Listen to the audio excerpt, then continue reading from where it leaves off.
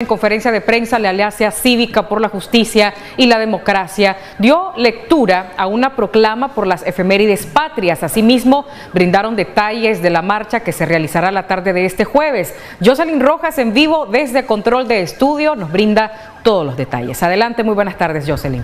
Muy buenas tardes, Aminta Ramírez. Muy buenas tardes a nuestros televidentes. Y pues ya lo decías, la Alianza Cívica por la Justicia y la Democracia también en esa conferencia de prensa expresó que en conmemoración del mes de la patria, los representantes están trabajando en un proceso de unidad para construir una auténtica democracia. Ahí dieron lectura, dieron lectura a... Eh, una proclama en celebración pues por las efemérides patrias. Eh, según ellos dicen de que eh, para lograr el objetivo la alianza también se ha reunido con organizaciones nacionales y locales para recuperar la república y poder vivir sin persecuciones ni crímenes. Vamos a ubicar parte de las eh, declaraciones pues, que brindaban en conferencia de prensa los miembros de la Alianza Cívica por la Justicia y la Democracia. Vamos a dejar pues parte también de lo que refería el doctor eh, Carlos Tunerman, donde pues hablaba también de diálogo nacional. El mes de la unidad para luchar por la libertad ante el opresor el mes de decisivas batallas, el mes de la independencia. Recordemos que en el mes de septiembre conmemoramos como grandes efemérides patrias la del 12 de septiembre de 1854, cuando precisamente los generales Tomás Martínez y Máximo Jerez, de los legitimistas y democráticos, depusieron sus diferencias y decidieron unirse para combatir al invasor al filibustero William Walker, que se había apoderado de Nicaragua. Es el gran mes de la, unidad para luchar contra el invasor.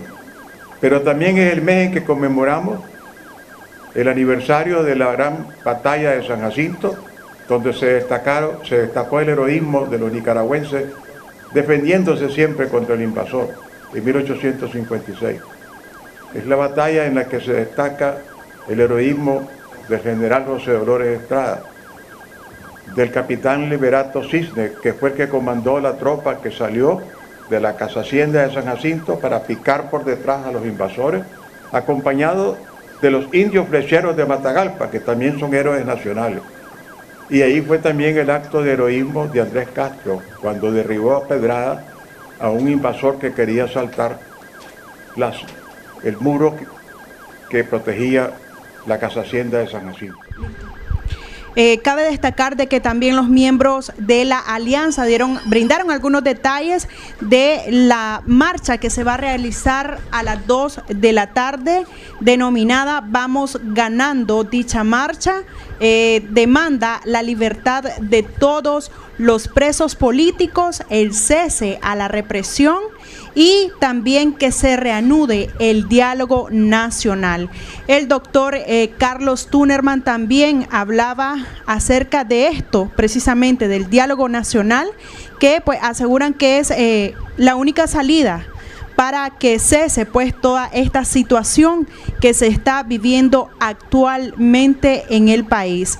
Cabe destacar eh, que la marcha está prevista salir a las 2 de la tarde y tiene el punto de partida la rotonda Cristo Rey. Está denominada Vamos Ganando y están invitando a todita la población pues eh, nicaragüense a participar en dicha marcha. También en la conferencia de prensa eh, se dio a conocer que en los próximos días estarán brindando otra, eh, se estarán reuniendo con todas las organizaciones que conforman la Asamblea Ciudadana por la Justicia y la Democracia. Vamos a ubicar eh, parte de las declaraciones que logramos pues obtener en la conferencia de prensa por medio de una lucha pacífica, no violenta. Esa fue la consigna desde un principio y nos mantenemos dentro de ella, una lucha absolutamente cívica. No es como en el pasado que ha habido en Nicaragua muchas guerras civiles, luchas armadas.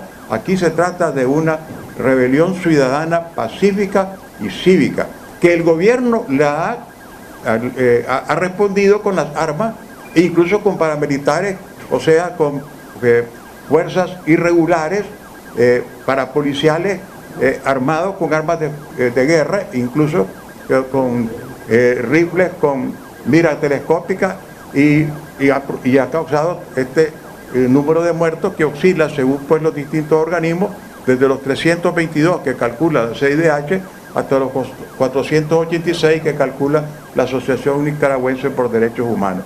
Y esto ha ido escalando y ha pasado de la, de la OEA al Consejo de Seguridad, donde ya está en la agenda del Consejo de Seguridad la crisis de Nicaragua.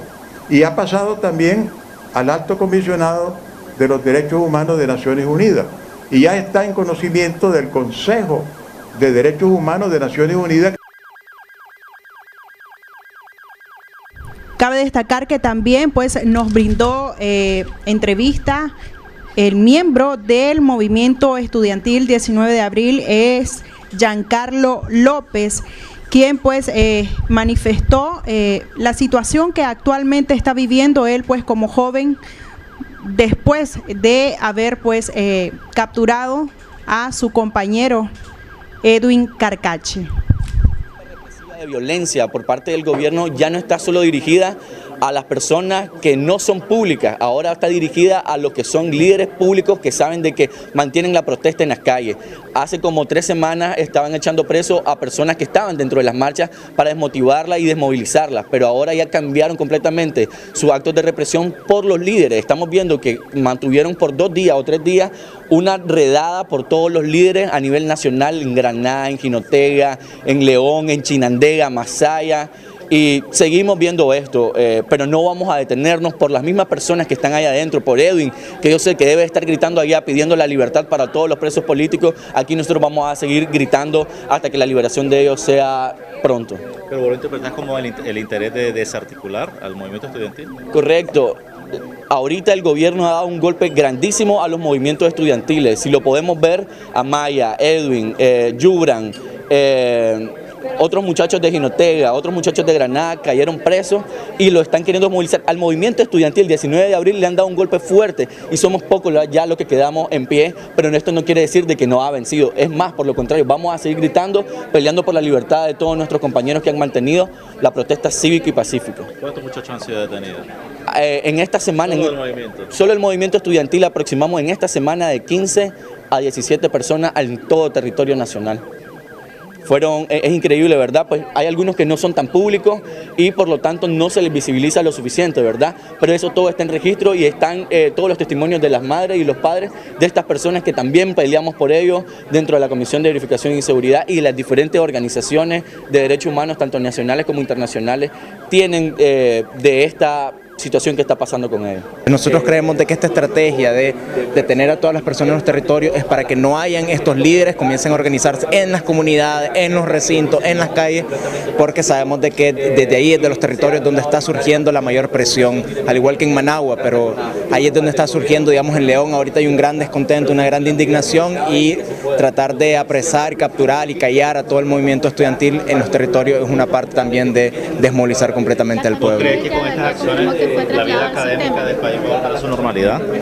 Yo creo que la hegemonía que tiene esta proclama de la desobediencia estudiantil de no vamos a regresar a las clases en condición de dictadura es una, una proclama que se ha visto que está siendo atendida por la gran mayoría de los estudiantes. La UNA entró a clase y casi nadie llegó. Los estudiantes están completamente de acuerdo en que no podemos volver. Esto no es una condición de llegar a la universidad y organizarnos, no podemos llegar a la UCA, yo soy de la UCA y no me siento en condiciones de llegar a una universidad donde sé que saliendo me pueden apresar. Es decir, estamos frente a un gobierno completamente represor que está usando la criminalización y la judicialización arbitraria de los las manifestantes para tratar de aterrorizarnos. Para la activista Azalia Solís, el diálogo es la vía pacífica que se debe utilizar para salir de la crisis que vive el país desde el pasado 18 de abril. Vamos a dejar sí parte de las declaraciones que brindaba. De resolución pacífica de una situación. Creemos que el diálogo en su momento tuvo la oportunidad de dejar desnudo al régimen, desnudo en su falta de voluntad política de resolver las situaciones de la manera que no sea a través de la confrontación y permitió en su momento la venida de los organismos internacionales. Ortega pensó, que con solo la venida era suficiente y que uno iba a quedarse eh, sin, sin, más, solamente con saber que aquí estaba la CIDH o saber que aquí estaba el alto comisionado eh, de derechos humanos. Vimos que, que, ni la CIDH ni el alto comisionado se callaron y dijeron la verdad de lo que estaba ocurriendo en el país. Y esos documentos que han producido tanto el sistema de la OEA como el sistema de Naciones Unidas han servido para que el mundo conozca lo que es de criminal el régimen de Ortega. Creo que el diálogo permitió dejar desnudo esa criminalidad de Ortega.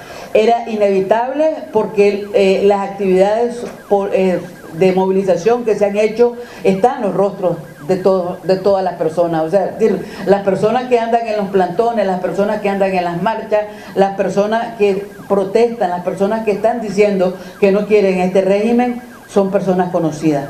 En la parte de derechos humanos estamos convencidos de que el diálogo nacional ha sido, porque continúa en nuestra visión, una herramienta importante de avance. Eh, hemos encontrado un tranque en el avance de los temas de la democratización, eso también hay que reconocerlo, y el tranque está del lado del gobierno. nosotros Reiteramos entonces, ahí mismo ellos dieron a conocer los detalles de la marcha que está convocada eh, para este jueves a las 2 de la tarde, cuyo punto de partida es la Rotonda Cristo Rey. Cabe destacar que ellos estaban invitando a las personas que deseen participar eh, portar un sombrero igual al que utilizaba eh, Edwin Carcache y esto para ellos es un símbolo pues de libertad.